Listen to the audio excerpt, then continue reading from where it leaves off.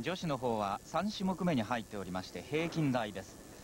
この平均台を待っておりますのは最後の演技者になりますルーマニアのシリバシ選手です。すでに跳馬そして段違い平行棒とも優勝を語っておりましてこれが3種目目。最近では例を見ないあるいはパーフェクト優勝というそういう可能性も出てまいりました。えただしこの種目で口選手は9.90をマークしております。ソビエトの口選手が9.90をマークしておりますので9.95あるいは10点満点と3種目目にかかります。シリバシュ選手であります。今年のソウルオリンピックの個人総合にこの平均台ももちろん金メダルであります。しかし加藤さん、最近ではですね、はい、完全優勝というのはちょっと国際大会では例がないでしょう。そうですね、えー、難しいですからね、はい、彼女、でも安定してますから、えー、分かりませんですよ。そうですね、はい、しかし今の前方宙返りなんてピタッと止まりますもんね。微動だにしませんからね。えー、後転跳びから後方の宙返り、これも本当に微動だにいたしません。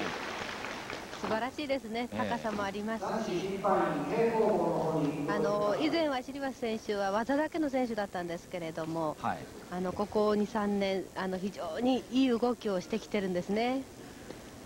まあ、早くからこの人は国際大会に出場してますが、はい、強くなってきたのは最近ですもんね。はいそうですね。技だけの選手であまりあの強くならないんじゃないかと思ってましたけれども。はい、動きの面でも相当訓練されてるなっていうのがよくわかりますね。どうですか？ここまでミスありますか？ございません。ええ。ここちょちょっとぐらつきましたね。すで、はい、にこれが8人目の演技者でありまして口選手が9.90をマークしておりますのでこの9.90が一つの目安になります。後転跳び2回から最後抱え込み2回宙返り。あ最後は難しい種目なんですよ、はい。ピタッと止めましたね、えー、さあどういうことになりますか、えー、このシリバス選手の一つ得点を注目してみたいと思いますがここまでプチ選手が9.90それから東ドイツのウィルケンドー選手が9.80ソビエトのライバルのボギンスカヤも9.80です